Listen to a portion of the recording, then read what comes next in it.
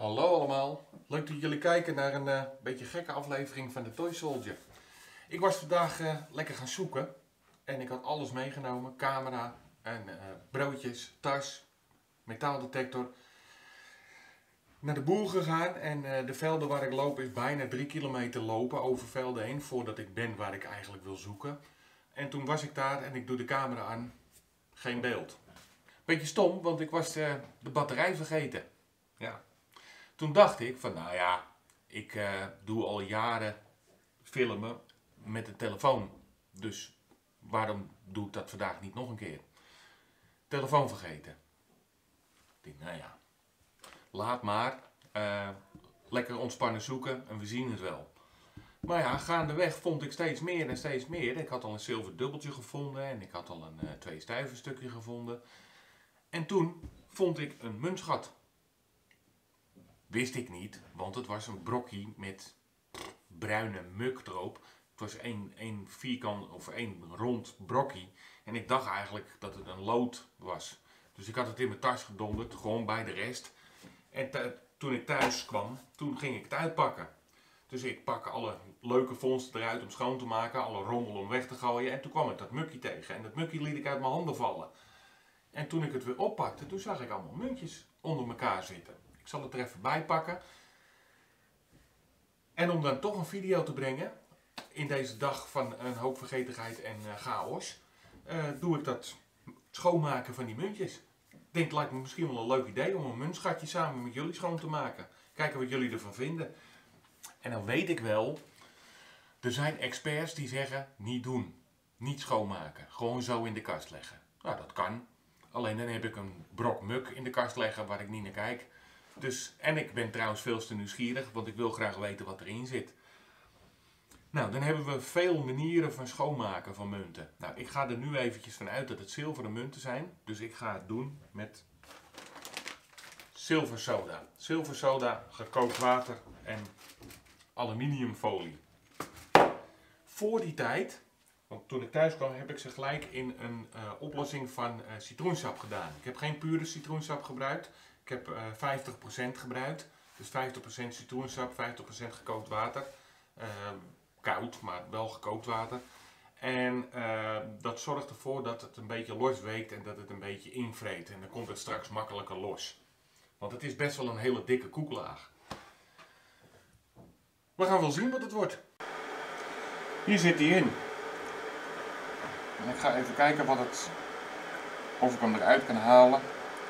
Hij is best zwaar. Dit is hem. Dit is de hele, ja, hoe moet je dat zeggen wat het is? Het is een beetje een klont. Klont van troep. We beginnen met eh, de basis en dat is aluminiumfolie. Die scheurt gewoon een stukje af. Ja, er zijn hele discussies over welke kant je moet gebruiken. De glimmende kant of de doffe kant. Ik gebruik altijd de doffe kant. Ik heb voorheen ook de glimmende kant uiteraard gebruikt. En ik kan nou niet zeggen van nou de een doet het beter dan de andere kant. Maar ik heb gewoon met de doffe kant een beter gevoel. Dan zilversoda. Moeten we even openmaken nog. Pak ik eventjes eh schaartje. Knippen we hem open. En dan doen we gewoon een beetje zilversoda erin. Je hoeft niet te zuinig te doen. Echt heel veel is ook weer niet nodig. Gewoon een beetje vingerspitsen gevoel. Als we dat zo samen bij elkaar hebben gevoegd, dus eh, de aluminiumfolie, de zilversoda en eh, het stapeltje met muntjes, dan gaan we er gewoon gekookt water op gooien.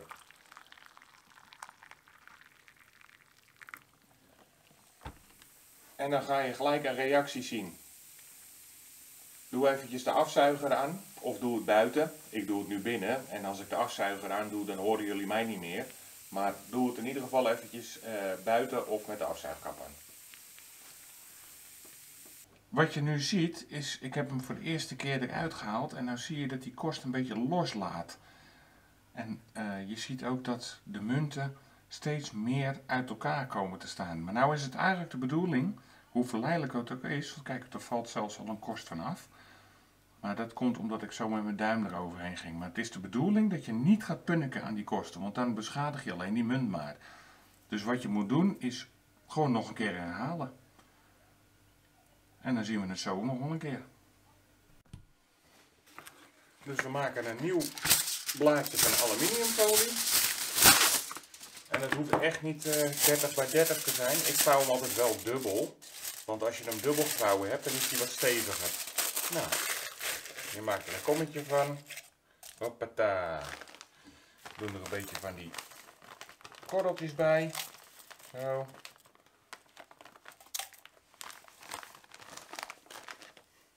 Stapeltjes met muntjes erop.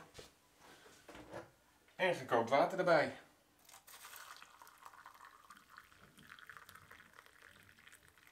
En dan gaat hij vanzelf weer bruisen.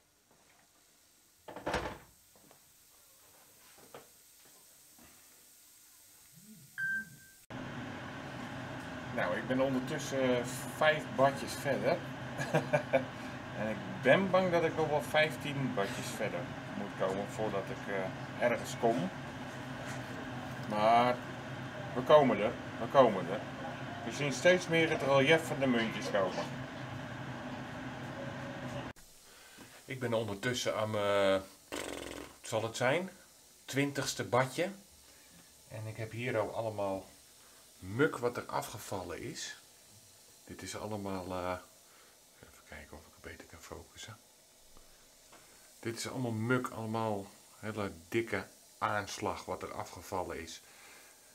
Ik heb ondertussen een paar hele munten. En één stukken munt. Nou ja, dat, je kan ook niet alles hebben.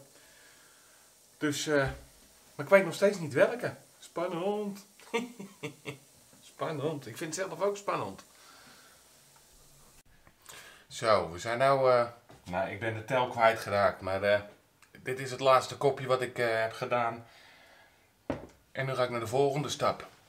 Ik weet al wat het is. het zijn uiteindelijk drie hele munten. En die andere twee, dat waren de kosten waar uh, ja, de afdruk op zat. Maar ik kwam erachter omdat het in het spiegelbeeld uh, erop staat. Dus dit is geen munt, dit zijn gewoon kosten. Dan houden we drie munten over. En ik weet welke munten het zijn, maar dat ga ik jullie straks pas vertellen, want anders stoppen jullie nu met kijken. Wat ik als laatste ga doen, even kijken, zo, dat zijn ze alle drie. En uh, daar zijn ook hele theorieën over wat je wel en wat je niet moet doen en uh, wat wel en wat niet goed is. Uh, daar laat ik me niet over uit wat wel of wat niet goed is. Ik doe wat voor mij werkt. En waarde doet mij niet zoveel, want ze komen bij mij in de kast en ze komen er nooit meer uit, want ik verkoop niks. Dus ik hou het gewoon lekker bij mezelf en dus doe ik het ook zoals ik het zelf wil. Wat ik doe, uh, sommigen zeggen van ja, je moet het met maagzuid doen, sommigen zeggen je moet het met een gummetje doen. Nou, daar heb ik totaal geen geduld voor. ik gebruik gewoon zout, gewoon keukenzout. Zo vast wel een reden zijn waarom we het niet moeten doen, maar ik heb een heleboel redenen waarom ik het wel doe ga ik jullie nu laten zien. Ik doe gewoon de kraan een klein beetje aan. Zo. En dan pak ik een munt. En dan giet ik lekker een beetje zout op. Gewoon een hele bak. Een beetje water. En vijven maar. En dan zul je zien dat er nog steeds een heleboel muk van afkomt. Gewoon lekker wrijven. Als je denkt dat je tekort zout hebt, nou ja, dan doe je er toch nog een beetje zout bij. Kost niks. Nou ja, niks. niks is ook wel weer overdreven. Nou, en dan met je vingers doe je als een soort scrub. Haal je dat laatste beetje wat er nog op zit, haal je eraf. Zover dat nog gaat natuurlijk.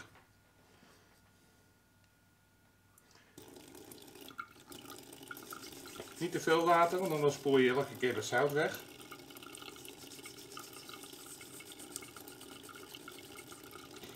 Soms leg ik hem gewoon even plat. Dus ik merk dat het zout op is. Want het zout dat lost op, dat wordt steeds kleiner en dunner. En de bedoeling is dat het zout zachter is als dat de munt is. Maar dat het zout weer harder is als het vuil wat erop zit.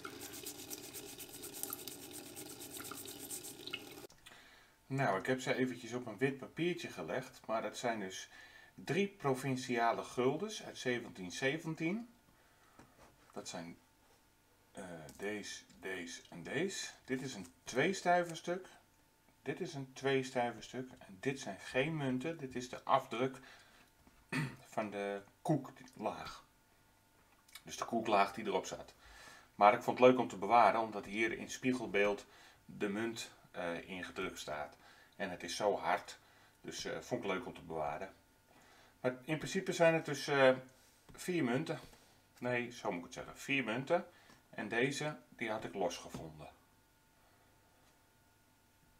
Nogmaals, ik had het liefst op het veld alles uh, gefilmd, maar dat, uh, ja, dat is mislukt, want uh, ik had mijn batterij niet bij me. Dus vandaar deze video van het schoonmaken. Vonden jullie deze nou leuk? Vergeet er niet even een duimpje omhoog te doen en vergeet niet te abonneren, want maar 40% van de kijkers zijn geabonneerd. Bedankt voor het kijken, tot de volgende keer.